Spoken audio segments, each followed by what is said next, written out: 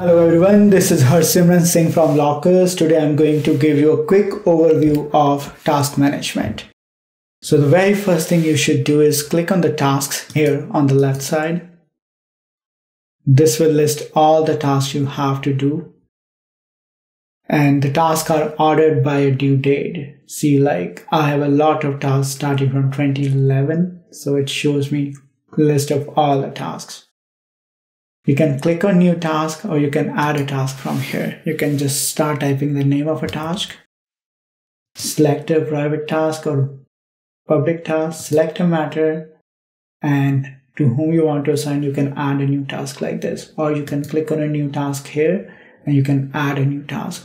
You can add reminders on a task. You can add a pop-up, SMS, and email reminder. You can add a subtask.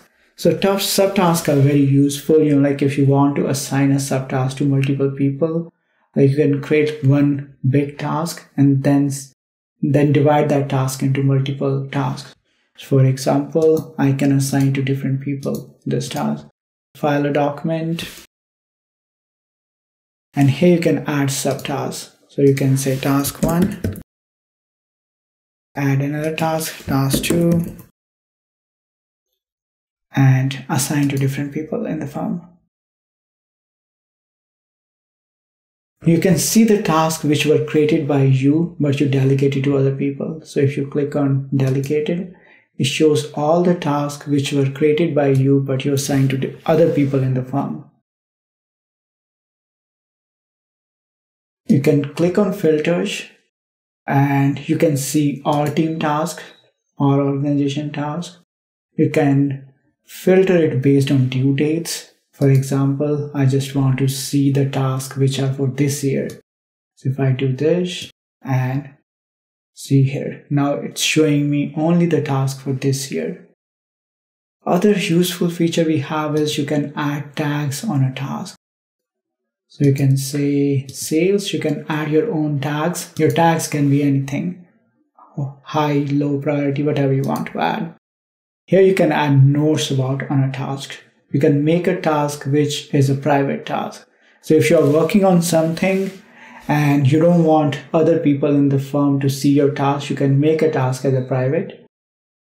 You can add a start date on a task. You can add a due time on task. You can make a task which is a repeating task. A periodically repeating task is whenever a task completes, it will automatically create itself again. You can trigger a due date of task based on previous task. So you can say this task is three days after the completion of task three. And if I go in a task three and change the due date of that, this task's due date will automatically set based on the due date of a task three. You can add a start date, add a due time, Due time is very useful if you're adding the reminders. So let's say task is due at 2 p.m. and you want to send a reminder at 1 p.m. So due time is really useful. If you don't have a due time, we are going to send the, the reminders based on 8 a.m. even if you don't add a, at a time. Thank you very much.